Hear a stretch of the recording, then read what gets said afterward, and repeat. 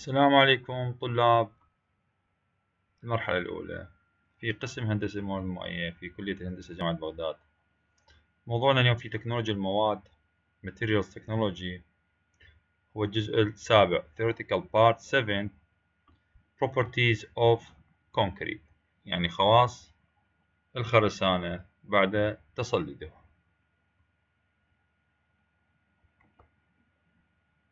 خواص الخرسانة بعد تصلدها نتيجة لكثرة استعمال الخرسانة في الصناعات الإنشائية فإن التعرف على خواصها يعتبر ضروريا للاستفادة المثلى من المادة.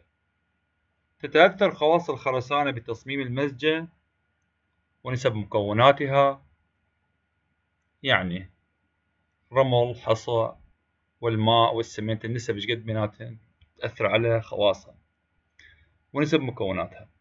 إلا أن أساليب التصميم هي ليست من اختصاص هذا الكتاب. يمكن حصر خواص الخرسانة الأساسية بما يلي. أولا التحمل أو مقاومة الإجهادات المختلفة اللي هي strength ثانيا التبدلات البعدية والحجمية. Dimensional and volumetric changes. ثلاثة الدوام والمقاومة للعوامل الجوية. رابعا اللي هي مقاومة الحريق fire resistance. خامسا نفاذية الماء permeability. سادسا العزل الحراري. Thermal resistance. سابعا مقاومة تأثير الاحتكاك. الوير resistance. ثامنا مقاومة تأثير المواد الكيميائية. Resistance to chemicals attack.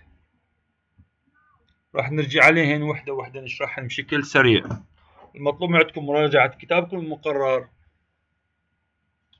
إنشاء المباني لزهير ساكو وأرتين ليفون من صفحة 109 إلى صفحة 125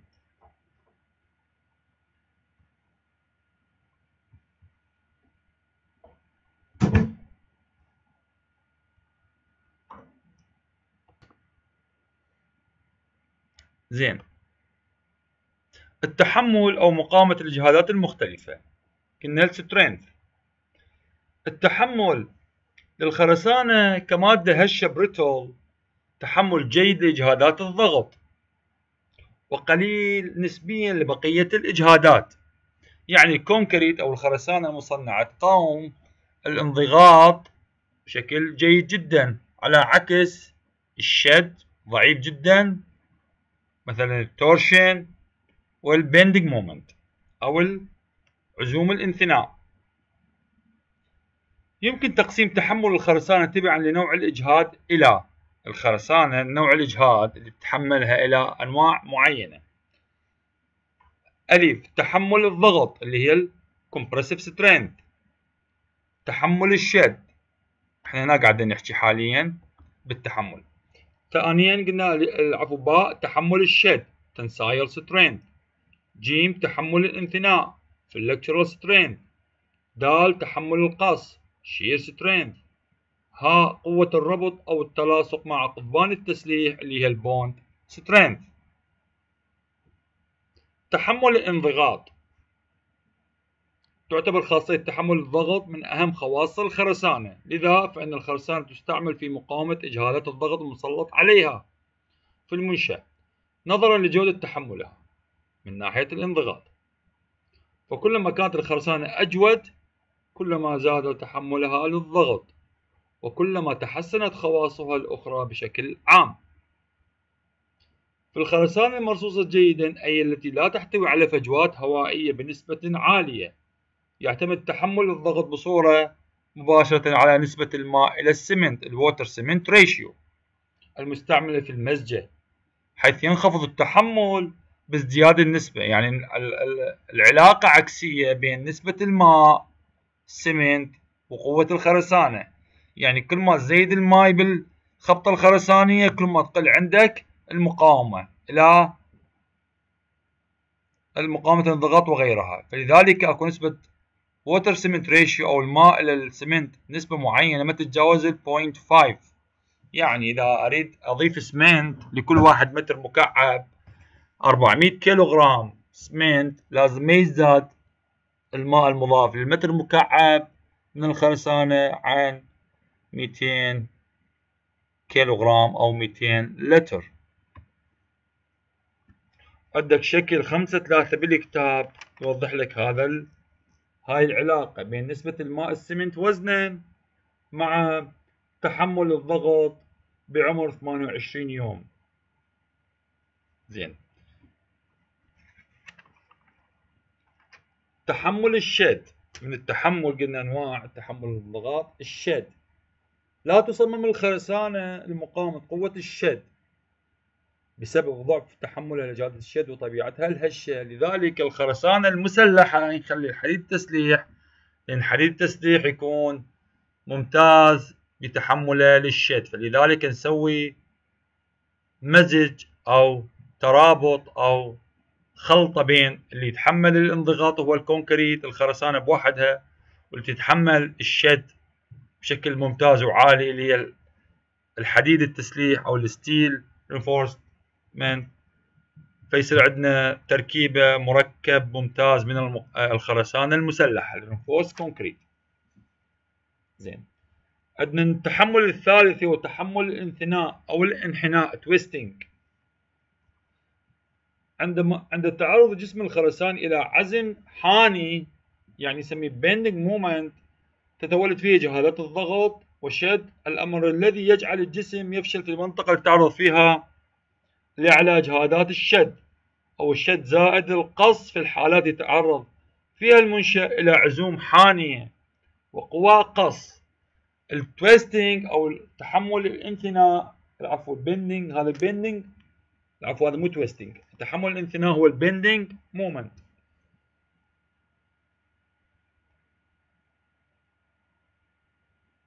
التحمل الآخر هو التحمل القص.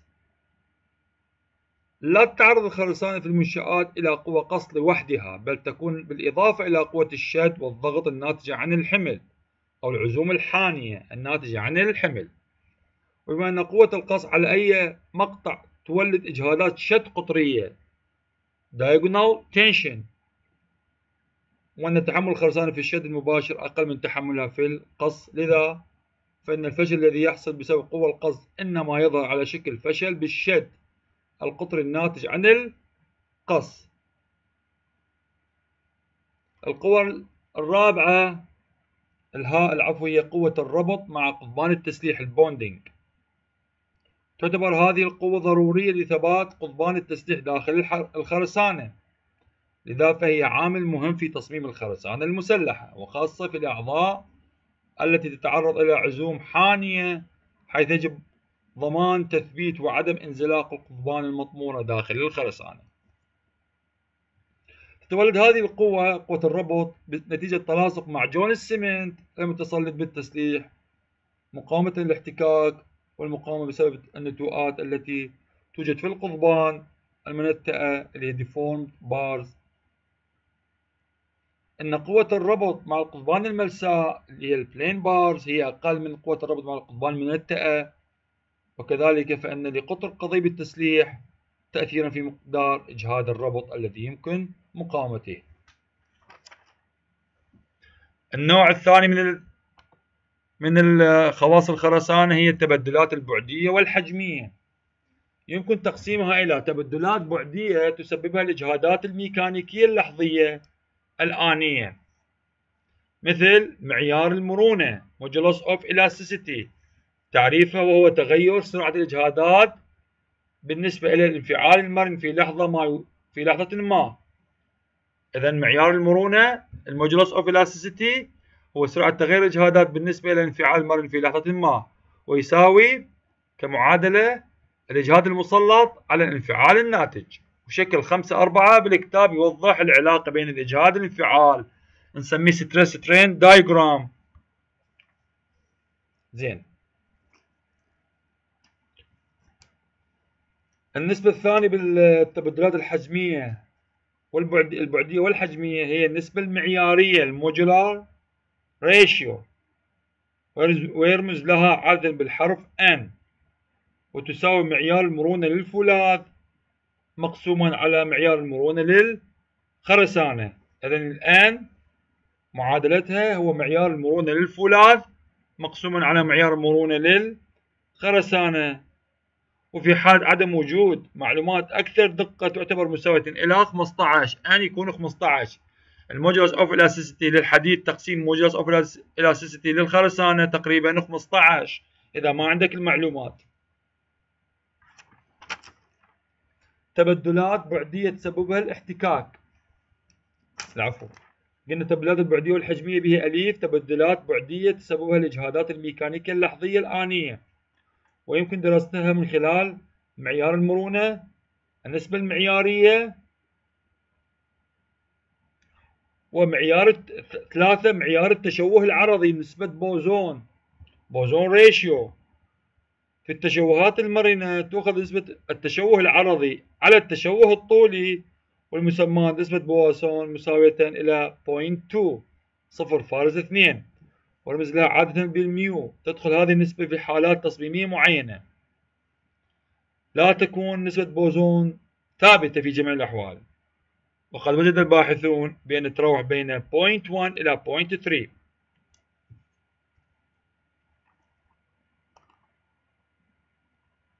باء التبدلات البعدية تسببها الإجهادات الميكانيكية وبمرور الزمن. عند بقاء الحمل ساكنا ومؤثرا على الخرسانة لفترة زمنية طويلة.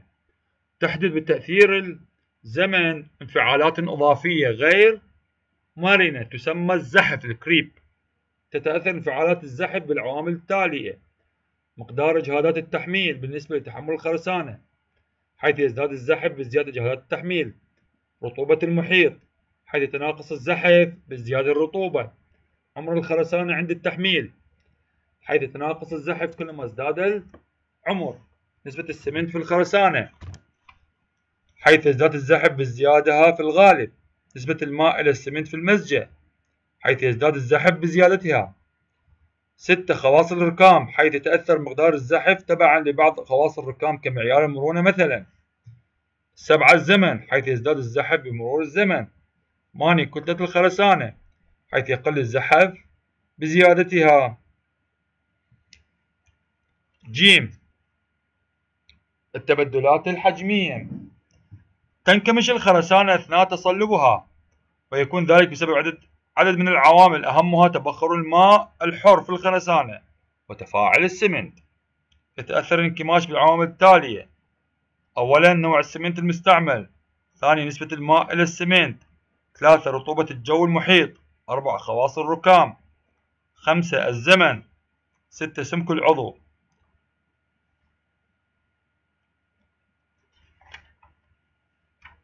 النقطة الثالثة من خواص الخرسانة هي الدوام والمقاومة للعوامل الجوية. تعتبر الخرسانة من المواد البنائية ذات العمر الطويل بصورة عامة إلا أن مدى دوامها يعتمد على عدد من العوامل التي تؤثر في الخرسانة وتؤدي إلى أضعافها وتلفها أحيانا ومنها أليف العوامل الجوية. يؤثر الانجماد على الخرسانة بصورة كبيرة حيث أن تجمد الماء في الفجوات يؤدي إلى تسليط قوة داخلية كبيرة على الخرسانة. نتيجة تمدده قد تؤدي إلى تشقق الخرسانة وبتكرار هذه الظاهرة يزداد امتصاص الخرسانة للماء ويزداد تأثير الانجماد مما يجعل في مما يعجل في تلف الخرسانة. يمكن تقليل تأثير الانجماد باتباع ما يلي استعمال سمنت مفقع للهواء. زيادة كثافة الخرسانة وتقليل الفجوات. ثلاثة تقليل نسبة الماء إلى السمنت. في المزجة أربعة استعمال ركام صلد ومقاومة قليل الامتصاص خمسة تقليل امتصاص الماء من خلال سطح الخرسانة بمختلف الوسائل. يعني نخلي عليه نصبغة نخلي عليه قير إلى آخره. من عوامل الأخرى هي الركام المتفاعل. Reactive aggregate. تتفاعل بعض أنواع الركام مع المركبات القلوية في السمنت بصورة بطيئة تؤدي إلى تمددات حجمية تسبب تشقق الخرسانة.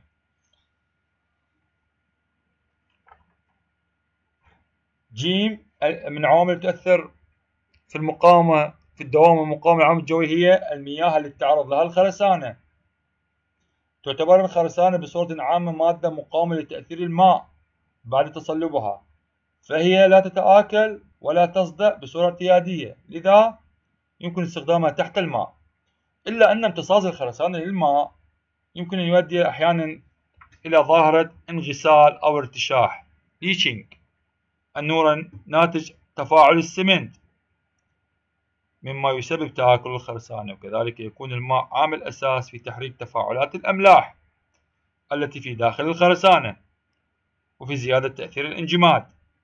كذلك فإن احتواء الماء على أملاح وخاصة كبريتية تتفاعل مع السمنت بصورة سلبية قد تؤدي إلى تلف الخرسانة. الخاصية الرابعة هي مقاومة الحريق. تعتبر الخرسانة من المواد البنائية الجيدة لمقاومة الحريق بسبب طبيعة المواد الأولية والناتج النهائي الذي تتكون منه الخرسانة. أكو جدول خمسة سبعة مقاومة الحريق لأجزاء المنشآت من الخرسانة المسلحة. للاطلاع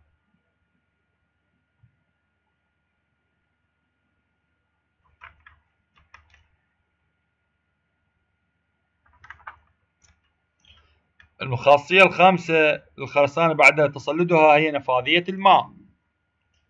لا يمكن اعتبار الخرسانة مادة صماء غير منفذة للماء بشكل مطلق. وذلك للأسباب الأساسية التالية. أولا لا يمكن لمعجون السمنت عند التصلد أن, يشك أن يشغل تماما الفراغات. ثانيا تكون كمية ماء المزجة في الخرسانة أكثر من الكمية اللازمة لتفاعل السمنت. ويكون الماء الفاض هذا قابل للتبخر من الخرسانة بسهولة وترك فجوات هوائية محلة. ثلاثة لا يمكن عمليا رص الخرسانة بحيث تكون الفجوات فيها معدومة تماما.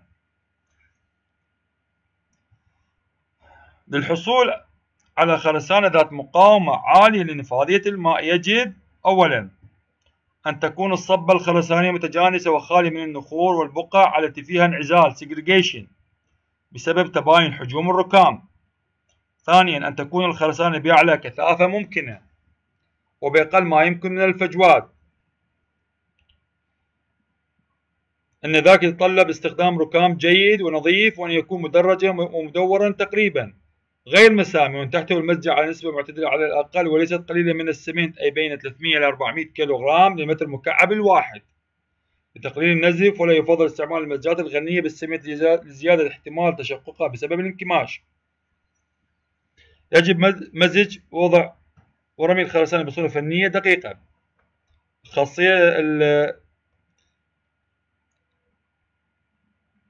ثلاثة أن تكون قلنا الحصول على خرسانة ذات مقاومة عالية لنفاذية الماء قلنا الحصول على خرسانة ذات مقاومة عالية لنفاذية الماء يجب ثلاثة أن تكون نسبة الماء إلى السمنت المستعمل أقل ما يمكن. أربعة تجنب كل ما تجنب كل من شأنه تجنب كل ما من شأنه. إحداث شقوق في الجسم الخرساني سواء بسبب الانكماش أو التبدلات الحرارية أو الانفعالات الناتجة عن الإجهادات الميكانيكية الإنشائية. خمسة إنهاء السطوح الخارجية للخرسانة بصورة صقيلة وغير مسامية. يمكن استعمال المضافات المانعة للرطوبة لتحسين مقاومة الخرسانة. حكينا عليها في استخدام المضافات. العزل الحراري. لا تعتبر الخرسانة ذات الكثافة الاعتيادية جيدة جيدة العزل ذلك العزل الحراري مرة أخرى مرة أخرى العزل الحراري. لا تعتبر الخرسانة ذات الكثافة الاعتيادية جيدة جيدة العزل. لذا يستعاض عنها بالخرسانة قليلة الكثافة خفيفة الوزن light weight concrete التي تكون أكثر عزلا تبعا لقلة كثافتها الناتجة عن نوعية الركام المستعمل. ونسبة الفجوات الهوائية. جدول رقم خمسة ثمانية يبين الخصائص الحرارية لجدران مشيدة بالخرسانة. جدول خمسة ثمانية الخصائص الحرارية لبعض الجدران الخرسانية. أرجو الاطلاع الخاصية السابعة الخرسانة بعد تصلدها مقاومة تأثير الاحتكاك. قلنا ال wear resistance وهي خاصية مهمة لسطح الخرسانة المستعمل في كافة أعمال التبليط والأرضيات المعرضة لتأثير الاحتكاك بالأحمال المتحركة عليها وكذلك في السطوح المعرضة للاحتكاك بالمياه الجارية في المنشآت المائية كالسدود والنواظم والأنابيب الناقلة للسوائل. تتأثر مقاومة السطوح الخرسانية تأثير الاحتكاك بالعوامل التالية أولا تحمل الخرسانة حيث تزداد المقاومة بزيادة التحمل. ثانيا نسبة الماء للسمنت المستعملة حيث تزداد المقاومة كل ما قلت نسبة الماء السمنت في المزجة ثلاثة نوعية الركام المستعمل حيث يجب أن يكون مدرجا بصورة جيدة وجيد التلاصق والربط مع معجون السمنت في المزجة وأن يكون صلدا ومقاوما للاحتكاك. تفحص مقاومة الركام الخشن لتأثير الاحتكاك السحج في جهاز لوس أنجلوس. لوس أنجلوس تيست. يفضل تقليل كمية الركام الناعم إلى حد إلى أقل حد ممكن من دون الإضرار بقابلية التشغيل. أربعة إنهاء السطوح بصورة جيدة وبأعلى كثافة ممكنة ويكون ذلك برص السطح بصورة جيدة بالمالج أو بواسطة بواسطة أخرى قبل تصلب الخرسانة مباشرة. خمسة تجانس الخرسانة من الضروري تجانس الخرسانة حيث أن وجود البقع الضعيفة يعجل في تآكل السطوح الخرسانية. ستة الإنضاج. كيورينج. يعتبر الإنضاج الجيد أمرا لازما للحصول على سطح مقاوم للتآكل. يمكن استعمال بعض المضافات السائلة مثل سيليكات الصوديوم أو فلوسيليكات المغنيسيوم. مغنيسيوم فلوسيليكيت أو الصوديوم لتحسين مقاومة السطوح المعرضة للتآكل في الخرسانة التي يكون تحملها ضعيفا أو معتدلا. توضح هذه المضافات بعد تصلب وجفاف السطح أي بعمر حوالي 28 يوم أو حسب تعليمات المنتج. الخاصية الأخرى الأخيرة هي تأثير مقاومة تأثير المواد الكيميائية.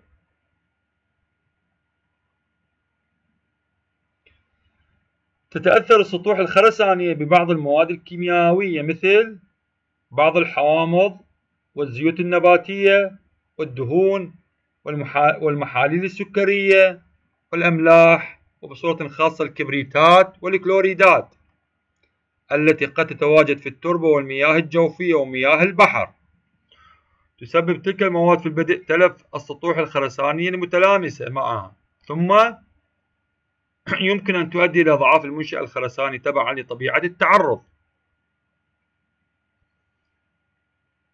يمكن تقليل تأثير المواد الكيميائية على الخرسانة بزيادة كثافتها. وتحمل وتحملها. واستع... وتحملها. واستعمال ركام صلب وغير مسامي وغير متفاعل. وغير متفاعل. وتقليل نسبة الماء للسمنت في المزجة. ومعالجة السطوح بطريقة تقلل الامتصاص إلى أقل حد ممكن. وباستعمال أنواع السمنت العالية, العالية المقاومة لتأثير الكيميائيات مثلا سمنت مقاوم للأملاح الكبريتية كمثال. وحماية السطوح أحيانا بطبقة من مواد واقية. وفي حالة الخرسانة المسلحة يزداد سمك الغطاء الخرساني لوقاية صلب التسليح من تأثير الكيميائيات التي تسبب تآكل التسليح أحيانا بحيث يتراوح بين 40 أكثر من 75 ملم حسب الحاجة يعني الغطاء يسموه ال cover لل concrete ال reinforced concrete يكون بين 40 إلى 70 سنتي يكون أبعد كل ما يكون أبعد عن السطح الخارجي يكون أفضل الكفر يعني 75 يكون كفر أفضل من 40 عمود نحمي حديد التسليح نحمي حديد التسليح من تأثير الخارجي التأثيرات الخارجية الرطوبة الماء الحوامض الكيميائيات إلى آخره. لذلك إحنا بالأسس يكون الكفر مالتنا 75 سنتيم أقل شيء أو 10 سنتيم. عمود نحمي التسليح حديد التسليح الموجود بالأساس من تأثير العوامل الخارجية مثل الانجماد الجفاف الرطوبة إلى آخره الحوامض الكيميائية أملاح حركة المياه الجوفية إلى آخره فنحميها. بغطاء أو يسموه كفر 75 سم 75 ملم إلى 10 سنتيم تقريبا.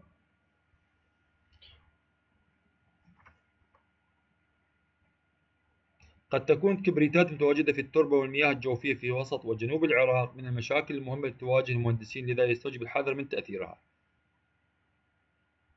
تفيد بعض المصادر والبحوث بأن تواجد كبريتات اللي هي SO3 أو SO4 القابلة للذوبان بالماء في التربة بشكل SO4 بنسبة لحد 0.1% أو في المياه الجوفية لحد 150 جزء بالمليون لا تؤثر بصورة ملحوظة على الخرسانة بينما يظهر تأثيرها عندما تكون نسبة أكثر من ذلك ولحد 0.2% في التربة أو ألف جزء بالمليون في المياه الجوفية حيث يوصي باستعمال سمنت بورتلاند المعدل وإذا زادت نسبة الكبريتات عن ذلك فيوصى باستعمال سمنت بورتلاند مقاوم للأملاح. وأن استعمال أنواع السمنت المذكورة لا يعني عدم الاهتمام بالعوامل الأخرى التي سبق ذكرها. قد لا يكون استعمال سمنت مقاوم للأملاح وحده كافيا لوقاية الخرسانة في حالات التعرض الشديد لذلك يوصي بحماية السطوح الخارجي للخرسانة وطبقات من مواد قيرية أو إسفلتية أو غيرها.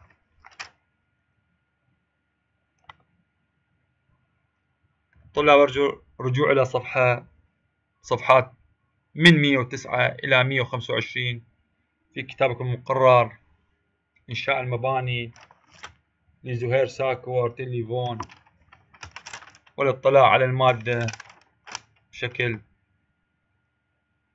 أفضل. والمراجعة والحفظ والتحضير للامتحانات النهائية. مع التقدير. كان معكم دكتور زهير كاظم جهانجير بدرس مادة.